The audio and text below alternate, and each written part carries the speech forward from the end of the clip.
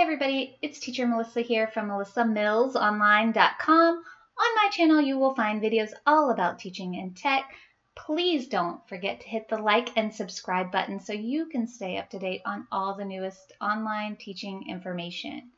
Today's video I'm going to show you how I use OBS and Google Slides for VIP Kid and I use these in my classrooms. Tonight I am teaching three classes and so I'm going to come to this page in the portal and I am going to highlight my classes.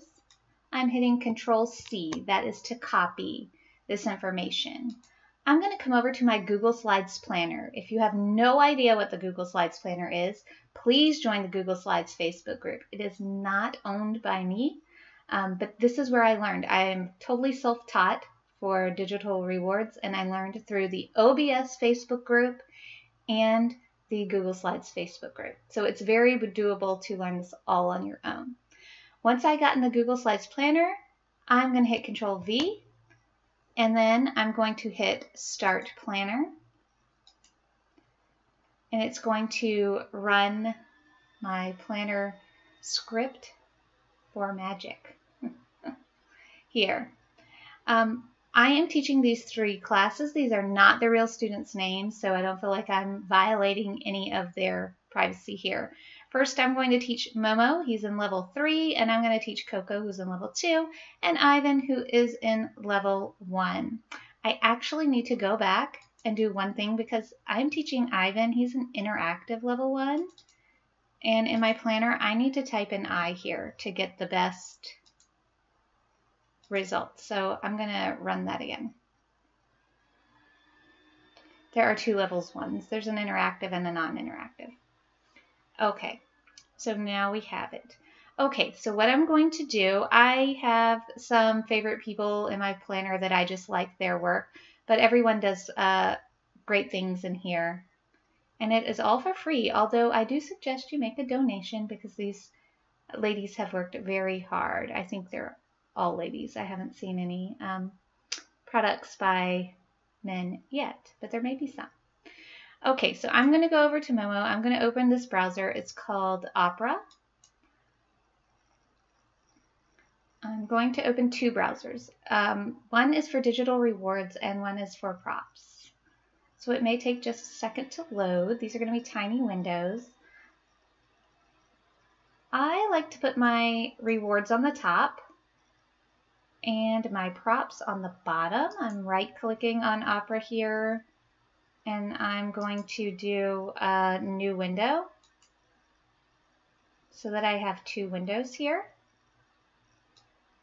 And as you can see, they're very tiny on the side of my screen. So I'm going to open three tabs because I'm teaching three students. This top box is for digital rewards. I'm going to open three tabs on the bottom and these are for props. Okay, so Momo, um, if you can see this part is props.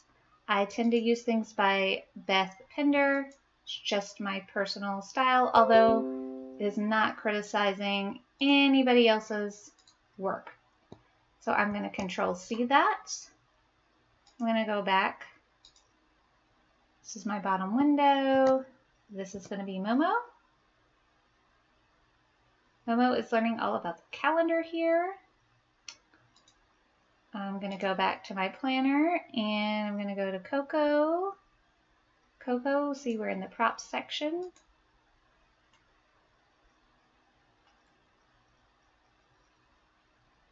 And sometimes it does take a, just a second for things to load. Okay. I'm going to copy that. Control C is all I'm hitting. Control V to paste. And I am on a PC, not a Mac. Um, at this time, I hear OBS doesn't have a camera plug-in for a Mac. I'm going to grab Ivan here. These are props. Ivan is learning all about numbers. Control C that. I'm going to drop that in here with Control V. Okay, so I have all my digital props. Now, I do use the digital props. A digital prop, I don't use every single slide in these. Um, I use them when a student is struggling to understand something.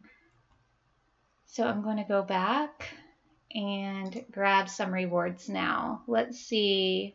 I like to switch these up and I usually look through most of these. Um, days of the week, what's missing? SpongeBob SquarePants, Dino Adventures days of the week, Find a Star, um, days of the week, Jeopardy. Ooh, this student I have is pretty smart. So let me see what this Jeopardy one is about here. Oh, he earns money for answering questions. How many days are in there in the week? I like this one because my student is kind of advanced and he will do good with this. I've taught this student a lot. All right, so he's the first person I'm teaching. The reason I'm putting them in this order is because after I teach this child's class, I can click on the X and the tab goes away and the second student will be right there and ready to go. Um, my little Coco is a wonderful, wonderful, uh, very active student. She's super fun to teach and she is actually pretty advanced too. She might like pick a pup. Let's see. Okay. Oh, yeah. I think she'd like this. And she would be able to see say these words too. Okay, so I'm putting her on the second tab because she's the second class I teach. And last, when I'm looking at Ivan here, they don't have any rewards. And he's learning about numbers. And he's pretty smart. He's learning about numbers and fruit, and I know that because I've been teaching him for quite a few weeks. So I'm going to go over to the rewards tab here, and I am going to hit Control F. I'm going to type in numbers. He's doing numbers to 10 in his lessons, but he honestly knows um, higher than 10. These are pretty smart level one. So anything highlighted green, like this is claw machine numbers. Claw machines like aren't really my favorite, although they are kind of neat. Um,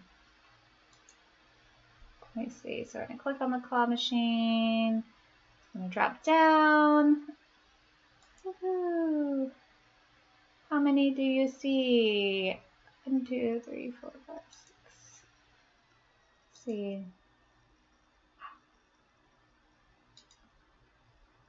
Okay, he might be able to do this. That he might be able to do this too. Duck. Oh, is there one in the back there? Hmm. All right, that might be something he's able to do. I could keep looking for more in here that are highlighted green that says older student in larger numbers. So he's a level one. He's not going to be able to do that. I think he can maybe do the claw machine. He's pretty bright. So I'm going to take this and I'm going to put it back on slide three because I don't want it like in the middle of the thing. Control C it. I'm going to pull up my um, rewards. Control V. I always have a fourth one. It was up. It always stays up. It's high fives in case something's going awry with my rewards. So once I teach student one's class, um, if you want to see how I set it up here, let me get off of this. if you want to see how I set it up, I will minimize my VIP Kid window. This is the web browser, but I would really be in the um, app. So I would do my class like this. My props are down here. This is my first class. And then my rewards are up here. So I would be teaching in this window here. My class would be here. And um, I use something called hotkeys in OBS to switch um, in between my rewards and digital props. And you can learn all about that in videos in the OBS group. But I'll give you a little a little scene right here. Um, I come into my rewards, Windows capture. I'm going to capture the rewards. Okay. And then I'm going to come into my explanations, which are my props. I'm going to do Windows capture. I'm going to capture the um, props. So if the child is having trouble conjugating the word come, I would use this slide. So um, I use something called hotkeys. I set mine up with the Alt key. You have to be careful because the Alt key will freeze you if you just press Alt key. But you can make combinations of keys. And so if I'm in the classroom, the student will see me just like this in the regular VIP Kid window. And then let's say I say, okay, great, you get to play a game. I hit Alt R for mine. And there, the student will see this in the window where the teacher usually goes. And then I um, just click on it and the question will come up. I wouldn't click on OBS window. I have to actually click in the side window. So I'd have to click in this window for the student to see it. And then the question would come up um, and I would ask them and then I hit that again and they would see this. There are very cool things you can do. Woohoo, you get a star! You get a star! Stars. Every time you give them a star, not doing so good, I can make stars disappear. You know, lots of fun things um, that you can do in OBS. So if you're just curious about it, this wasn't intended to be a tell-all video. Um, just a little brief overview of some things that you can do. So make sure you join the OBS Facebook group and the Google Slides Facebook group so you can learn how to do all of these really cool things in OBS. If you're on a Mac, you might use CamTwist or ManyCam. I'm not as familiar with those, but I plan on getting a Mac, so once I do, I'll be learning all of those things also. All right, guys. If you haven't even joined VIP Kid, you need a mentor or a coach for VIP Kid, GoGo Kid, or OutSchool, please look down in the YouTube description box and use my links or codes if you're not even on YouTube or you just want to email me and ask me some questions, Melissa Mills at rocketmail.com. Bye, guys. Happy teaching.